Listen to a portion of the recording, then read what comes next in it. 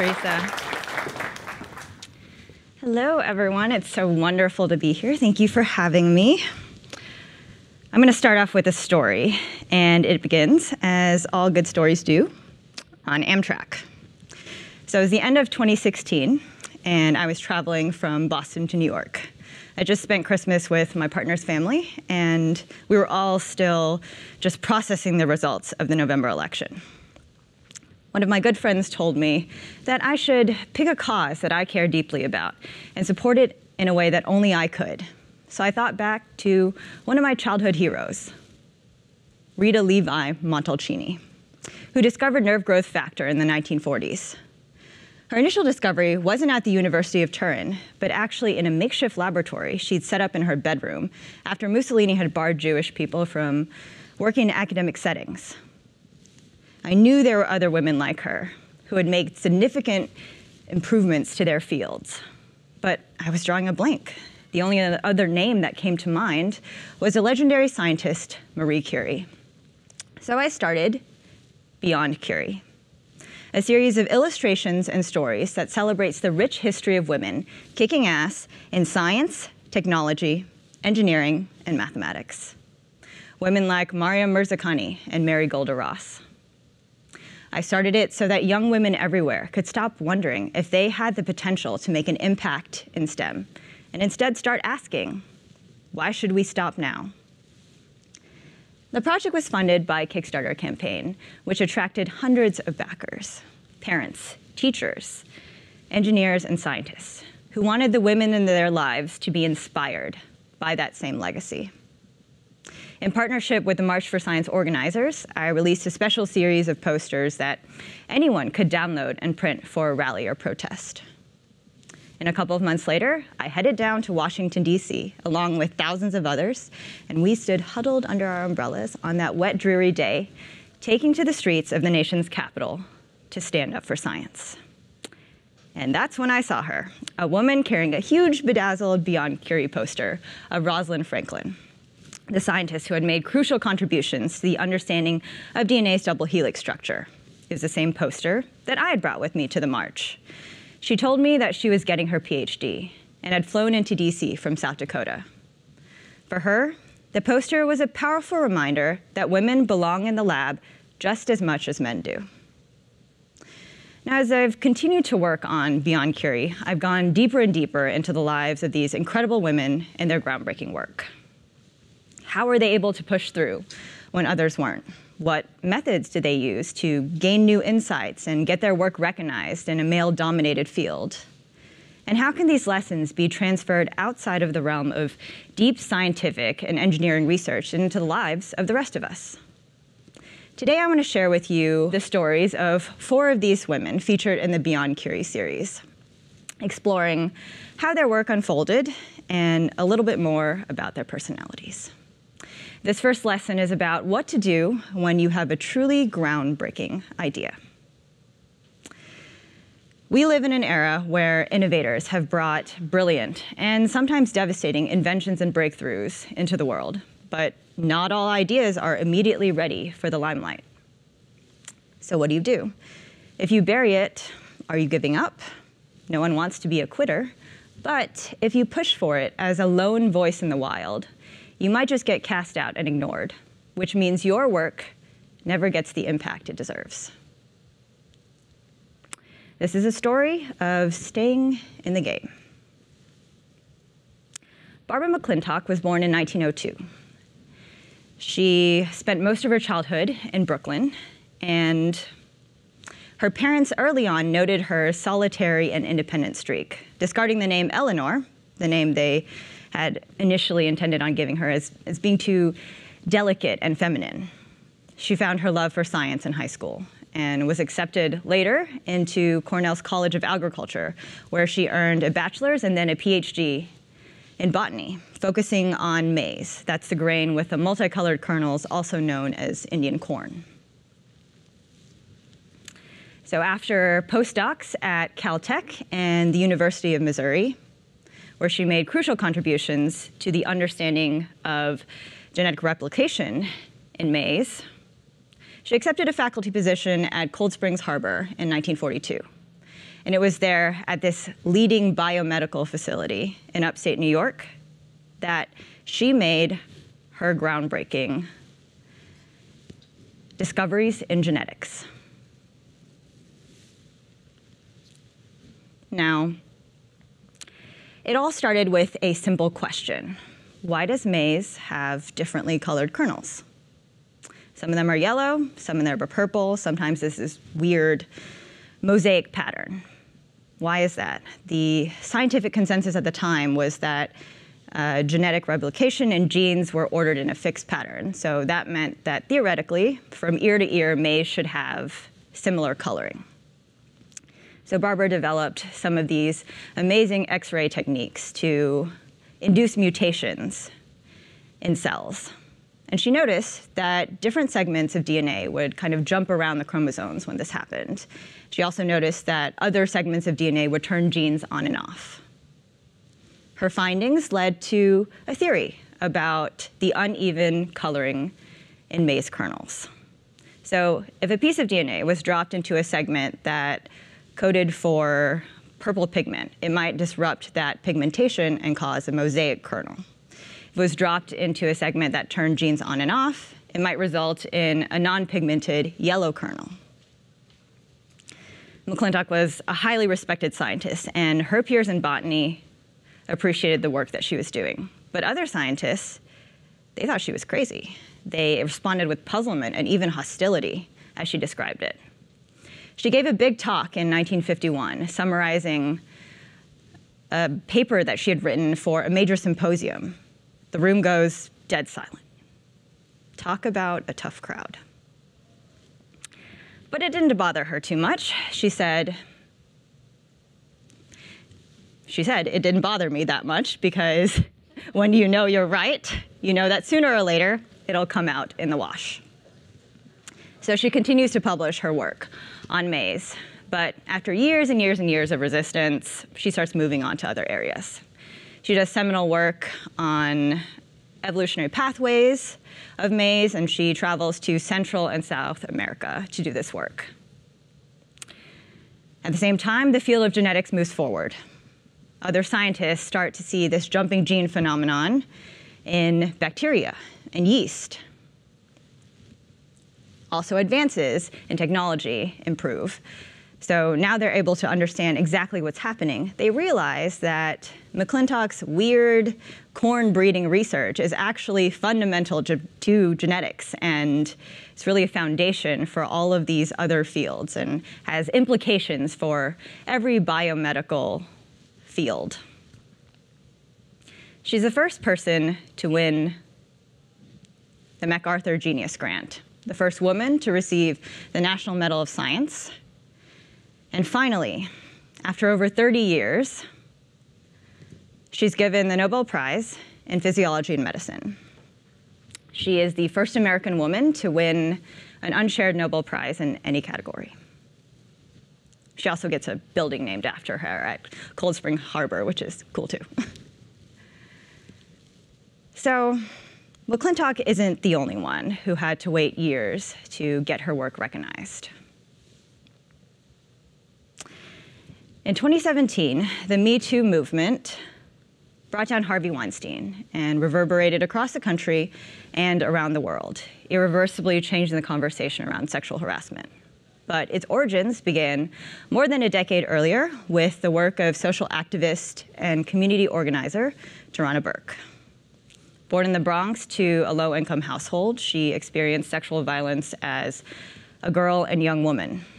In 2003, she started a nonprofit called Just Be that developed programming for young black girls and teens to succeed socially and professionally. She first used the phrase Me Too on MySpace as part of a campaign to promote empowerment through empathy among survivors of sexual abuse. This campaign became so important to her that in 2008, she renamed her nonprofit Me Too. She continued this community work, traveling to Brooklyn and Selma. And then on October 15th, 2017, Alyssa Milano posted on Twitter about Me Too for the first time, and it received 24,000 retweets and set off a tidal wave that continues to this day. Later on, Milano followed up that tweet crediting Burke with her earlier use of the phrase and her longstanding efforts to support survivors of sexual abuse. Tarana Burke went on to be named one of Time Magazine's silence breakers, which Time Magazine named 2017 Person of the Year. And she was this year's commencement speaker at UPenn's School of Social Policy and Practice. McClintock's and Burke's stories, they share parallels, including their initial rise in the field. Burke's early maize work, excuse me, McClintock's early maize work was considered first rate, and Burke had started her community activism as a young girl and continued it wherever she went. They also both had a breakthrough idea. For McClintock, it was that genetic regulation could be controlled.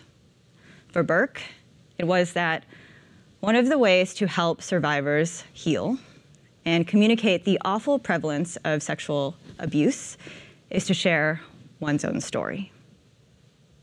And for both of them, it took years of working on other things, putting their initial idea aside, and waiting until the world was ready for them to get the recognition they deserved. It takes some time for ideas to permeate the world. And yeah, it probably was much harder for them because they were women. But by making their mark and staying in the game, their fields were able to recognize the importance of their contributions. The next lesson that I think we can learn from leading scientists is that the world needs more champions. Women are often given the advice go find a mentor, someone who's uh, had some more years on you in the field and can offer advice or approaches to your work. But having a mentor isn't enough women and ambitious people of every stripe need champions. And the surest way to understand the difference between a mentor and a champion is to look at Elizabeth Blackburn and Carol Greider.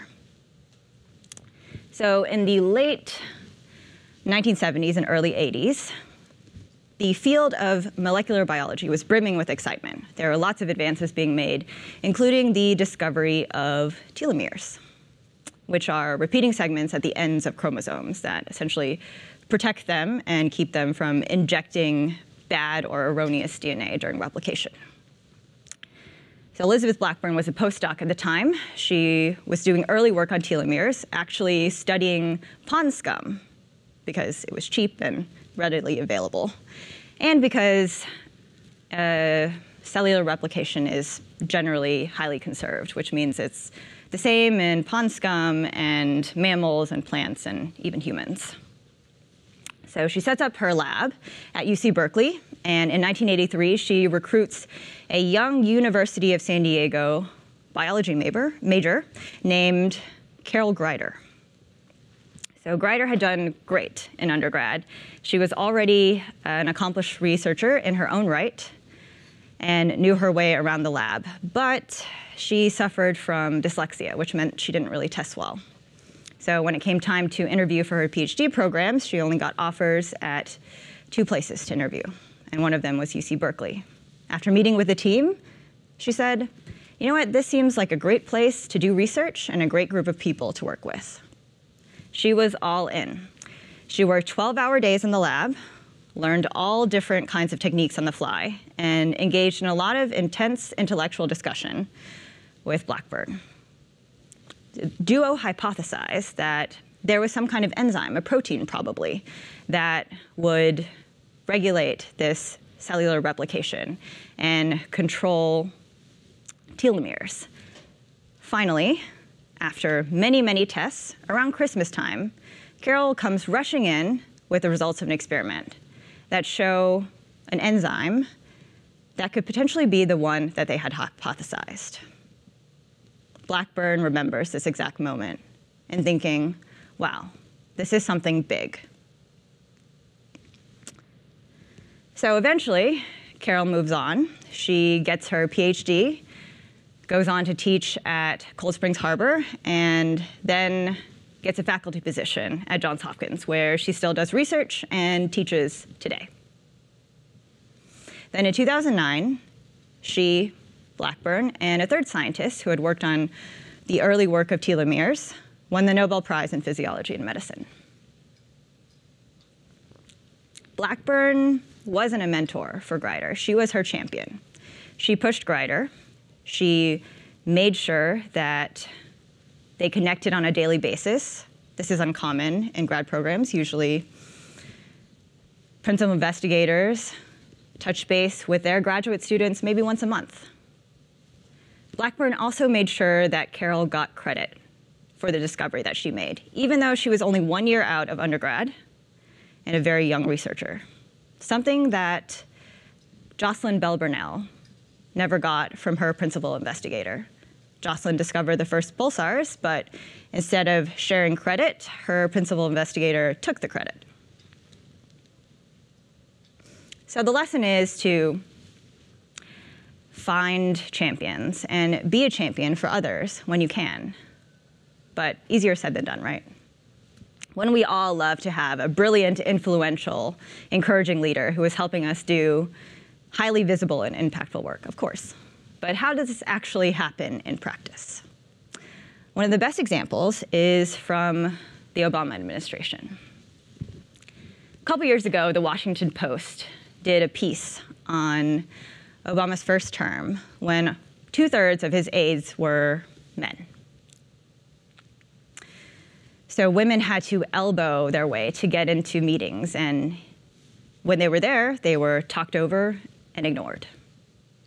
So the women got together and developed something called amplification, where when a woman made a key point, other women would repeat it and then give that woman credit. This had the dual impact of making sure that their ideas and their voices were heard, but also it made sure that the men couldn't take credit for their ideas. And it worked. We saw Obama calling more and more directly on the women in those meetings. Now, my last story comes from Asia, which is fitting because I owe the opportunity to give this talk to the Asian Google Network. Yu Tu is a Chinese pharmaceutical chemist who led a team that developed a breakthrough cure for tropical malaria, for which she won the Nobel Prize in 2015.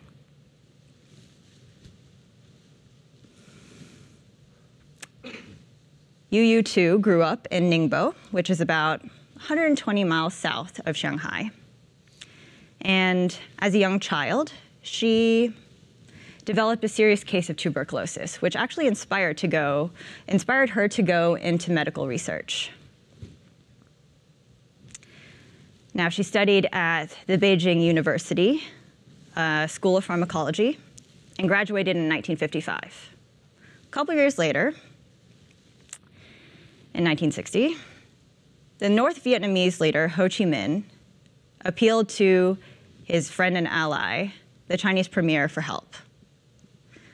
North Vietnamese soldiers were dropping like flies from tropical malaria, and the current cure, chloroquine, was ineffective. It just so happened that in southern China, lots of citizens were dying from malaria as well. So the Chinese premier asked Mao Zedong to set up a secret government program called Project 523 to discover a cure. It's not really that original of a name since it's after the date of its founding, May 23rd, 1967. Regardless, they recruited 500 scientists from all over the country, different labs and institutions, to participate in the fight against malaria. Yu Tu joins in 1969. She actually had to put her young daughter in a nursery as she traveled to southern China to investigate what was going on. So, around the world, other scientists are getting involved. They've tested over 240,000 different compounds for a cure to no avail. So, Yu Tu decides to retread some old ground and go back and look at traditional Chinese medicine. She travels around the country talking to different Chinese medicine practitioners, compiling all of her notes and all of this research in a big notebook. By early 1971, she and her team had tested over 2,000 recipes from Chinese medicine, had extracted about 380 herbal extracts from 200 herbs, and tested it on mice. Then they found out that there was one compound from the sweet wormwood plant that seemed like it might be a contender. This compound was known to help with intermittent fevers, which is characteristic of malaria, and also it proved to inhibit parasite growth. So after testing it on mice, Youyou Tu steps forward as the very first human test subject. She actually tested it on herself, which is incredible. Fortunately, it's safe for humans, it works, patient trials continue, which prove highly successful. But no one in the world knows about this research because of the Cultural Revolution and because this is a highly secret military project. But once these international relations reopens, Youyou Tu is asked to present the findings of Project 523 to the World Health Organization. After that, more folks start to use artemisinin, which is what they ended up calling this compound. And it's one of the frontline tools against malaria. So between 2000 and 2012, the global incidence of malaria drops 25%, and the global mortality rate for malaria drops 42%. In a recent estimate, it said that her discovery of artemisinin has saved hundreds of millions of lives. Pretty incredible, right? So, another woman who's not so afraid to retread old ground to discover new insights is former GE Vice Chair Beth Comstock. Now, Comstock started her career at NBC News as a journalist in Washington, D.C. A couple of years later, she gets the opportunity to travel to New York for new job opportunities. Despite having a small child and being a single parent, she takes the leap. And this move to the big city pays off. She gets opportunities at CNN and then at CBS, running East Coast PR for the classiest network in the country. Then in 1993, she gets a call to return back to NBC. They have an opening for the vice president of media relations. But the problem is, is that recently NBC just got outed for running a fake news story. Morale was in the toilet. Resistance to her taking this job, even considering it, started immediately after she got the call. But she knew that in her gut, this was the job for her to take. Something was calling Comstock back to NBC, and she ended up following her gut and being correct. They gave her a lot of latitude. She was able to experiment and try new things. And two years later, she launched MSNBC with, uh, with the help of Jack Welch and Bill Gates. And it's now the second most watched channel on cable news. learning to retread old ground to find new insights. It's a lesson that I use myself in developing Beyond Curie. I would never have known that my fourth grade book report on Rita Levi Montalcini would be the spark for a project that would have such a global response, lead to a main stage TED Talk, and also lead to a whole highway tunnel dedicated to women in STEM. In fact, I didn't even think I'd still be working on Beyond Curie, but I'm glad that I am. Beyond Curie is about discovering our heroes. Because when we're able to connect with greatness, we come to see that it is not some distant, unreachable place, but a long body of work forged through perseverance, love, and courage. Because when we truly know our past, we can reclaim our present. And when we hold the present in our hands, the future is ours to shape. Thanks so much for listening.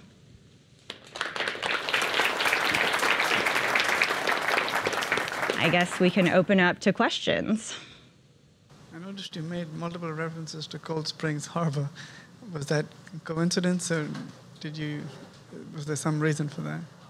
Well, it's a leading biomedical institution, so a lot of people who have won the Nobel Prize did work there. But uh, I guess in this talk, purely by coincidence.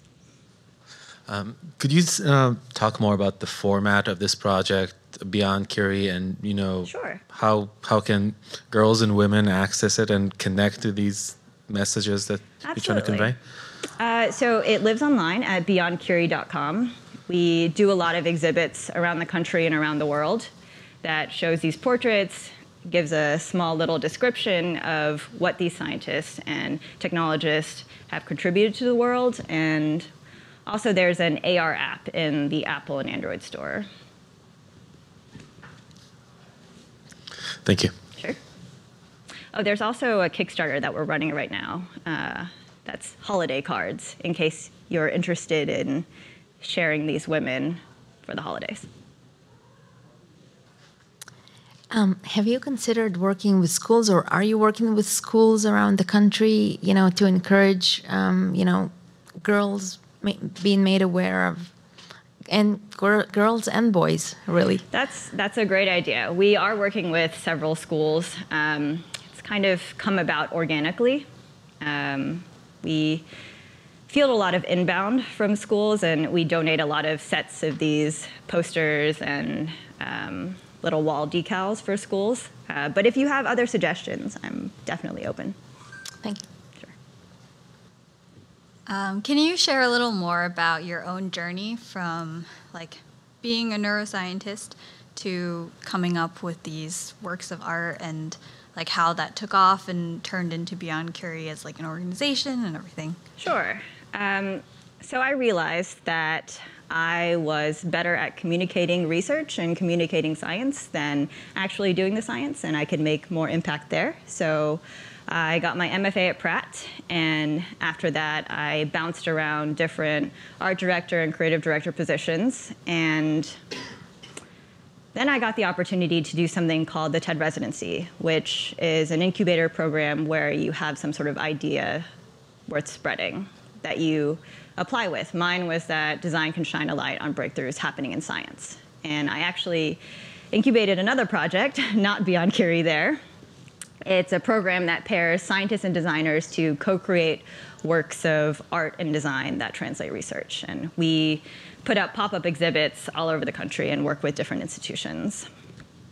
Uh, Beyond Curie started because I was trying to find a way to give back after the election and support causes that I believed in. And supporting women in STEM is one of the ones that I believe in a lot.